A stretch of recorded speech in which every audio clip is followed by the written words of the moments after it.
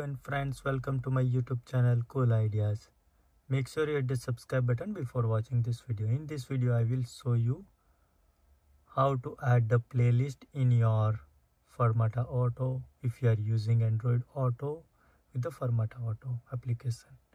So here I am using my Honda Accord and in the Honda Accord I have added Fermata Auto with the Android Auto.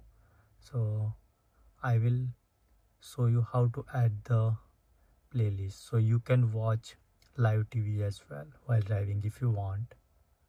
This is just an additional feature with the Fermata Auto so that I will show you. Because with the Fermata Auto you can watch the YouTube so you can enjoy the live video song as well. So here in the screen you see I have added Fermata Auto so if you click on Fermata Auto here you will see my youtube is running and if you see there is one option called tv so in the tv you will add any playlist. So here you can see the option to add the m3u iptv source.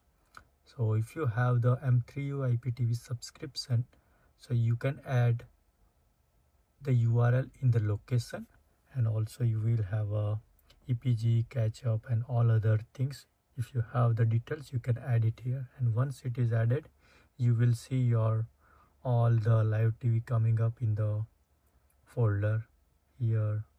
Favorite section playlist. So you can enjoy everything here along with the YouTube.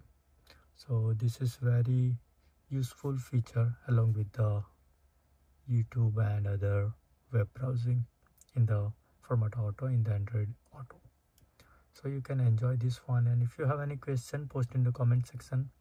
I will try to help you out and stay tuned for more videos and thank you for watching. Have a great day.